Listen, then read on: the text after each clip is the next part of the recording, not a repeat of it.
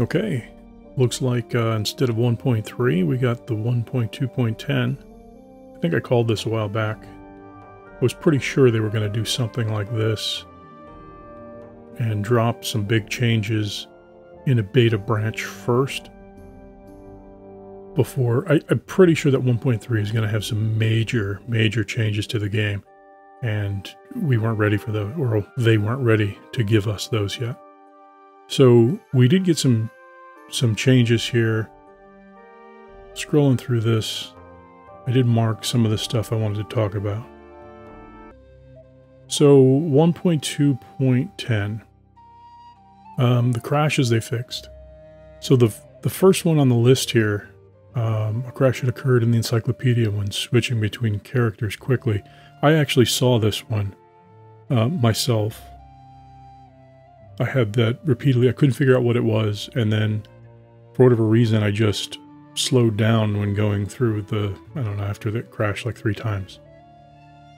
I was trying to reproduce it, and I was going really slow, and everything seemed to work. So that quickly thing, I think it was trying to do something else in the code and it wasn't ready yet. And it just. So I saw that one. I'm glad they fixed that because it was really annoying. Most of these other ones I read through here already. I didn't see any of these until we get down to here when you um, pressing the click to continue button during a very the very first frame of a map conversation. Sometimes in map conversations, I would just start clicking really fast just to get rid of it because um, I knew what was coming. I was like, all right, let me just get through this. And I had this crash multiple times and I couldn't figure out, you know, what I did wrong. Uh, but now I know there's, I'm just going too quick. So now I'm just going to, they fixed it, but I'm going to slow down anyway. Uh, some of these other ones, I didn't see any of these crashes through here or because I, I really experienced very few crashes um, in, in 1.2.9. Assigning a hero to a claimed alley. I got, I actually did that repeatedly. I, for whatever reason, I couldn't assign someone uh, to an alley without the game crashing. So I'm glad they fixed that because I had given up on alleys at that point. So now I can go back and play with those again. Uh, and the rest of these I didn't see. So, um, bug fixes. A bug that caused donated troops and prisoners to stay in your party. So this was that exploit. I'm not sure who found this. Uh, if it was uh, Anand that found this, somebody found this, and I think Flessa made a video on it. But it's uh, this was crazy. You were, you could exploit this and get uh, tons of money, and I, I believe you got XP for roguery on this as well if I'm not mistaken. So the next one, the bug that prevented certain crafting pieces from being from producing legendary items. Now this was huge. This was a lot of people were complaining about this. I made a video about this, but it didn't really cover this bug per se. The issue here was that the when you were crafting an item, um, some items like axes only had three parts to it a head, a handle, and a pommel. There was no guard on it. The, the way they made crafting crafted weapons is that they all required four parts, and if you didn't have four parts, it would crash. So they put a default or a hidden fourth part that you wouldn't see when you're making an axe, but they counted that when they did the, the divisor, like when they took the tier of all of the parts and divided it by the number of parts used, it was, they, they included that, that hidden none part or null, or I think they call it none in places where you actually have four parts and you don't want to use one. I, behind the scenes, I think it was just a null, uh, a null part. But either way, they I'll have to test this out, but they should be able to make legendary axes now. And this was a, a big deal for a lot of people. So that's cool that they fixed that. The bug that caused parties slash armies to continue besieging a settlement, even in the presence of a larger threat nearby, when it was otherwise no longer logical. This is really huge. Like it used to be, you just bring your your giant party toward someone besieging one of your settlements, then they had a smaller party and they run away from you. And that was just a quick way to get rid of that. But for whatever reason in the decision making, they didn't run any anymore. So it was like an, an easy, oh, let me just pounce on this other army real quick since they can't get away. They're never going to escape. They're always going to stay here. So whatever logic that they fixed here, and it was probably just not checking. That's all. It, it's probably what it was. They just weren't checking to see if anything nearby is coming. And they probably added the check back. It, it may be that simple. A bug that prevented the coming of age notification from appearing. Yeah, I've been missing that. I I haven't seen that in a while. Um, I, I think it's been, I think it's been a couple of versions that we haven't seen that. I don't, I don't, I just don't remember seeing it in a while. Fixed a bug that prevented some companions from being listed on the party role selection screen. Yeah, like you couldn't put certain companions, and I forget the steps I did for this, but you like once you assigned him as that role and then unassigned him, I think you couldn't assign him back. I think that's what it was when I was playing around with it. Um, but I'm glad they fixed that because that was really annoying.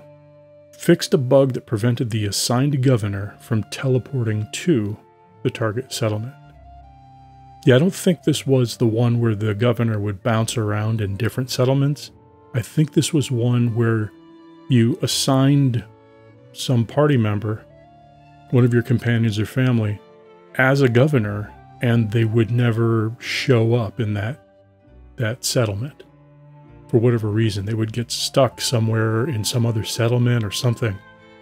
The encyclopedia said they were there they weren't there.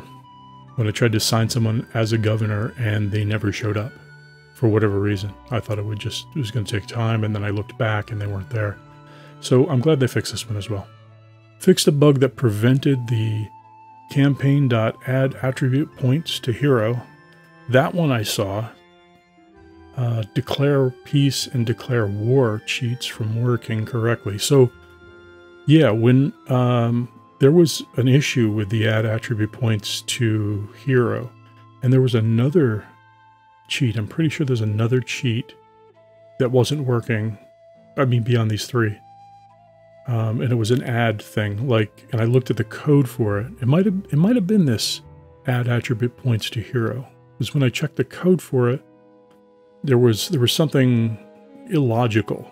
Like it would look to see if the number was less than a certain amount or greater than a certain amount, and then there was no in between. So it couldn't be less than zero, and it couldn't be more than something something else like 10 or something. But it never, there was never an in between. So if you put anything in between 0 and 10, it would just ignore it. And because it ignored it, it threw an error saying you're out of the range or something like that. I think that's what it was. Um, and that's the one that I encountered when I was trying to create something.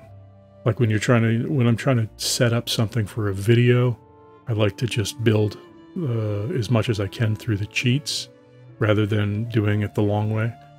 And that was one of the issues I ran into was this. Reduce the load times for consoles. That's good for you console folks. Uh, and then multiplayer. I don't play any multiplayer at all, so none of these affect me. So that's this is pretty this is pretty good. They did fix one exploit. They fixed the uh, the legendary um, crafting legendary weapons issue. Um, they fixed the army's not running when a larger army is coming after them while they're besieging. The coming of age notification should be back. Um, those four right there have been seem like they've been here for a little while, and um, I'm, I'm glad they fixed these. They got rid of an exploit. That's good. Oh, the companions not being able to assign companions at roles. That's good. And I, I only ran into that governor thing once. So there might have been some weirdness with it. And I'm glad they fixed the cheats because I, I like to use those again when I'm trying to uh, contrive a scenario uh, for a video, I like to use the cheat the the cheat menu to do that. So they did get some good fixes here. Um, some uh, three, at least three bug crashes that I ran into are fixed. A whole bunch more that I didn't experience. So again, we're not looking at 1.3. We're only looking at 1.2.10, and this is a beta branch. So you have to, folks on console, you're going to have to wait for everyone on the beta branch to test it before they push this out to you guys.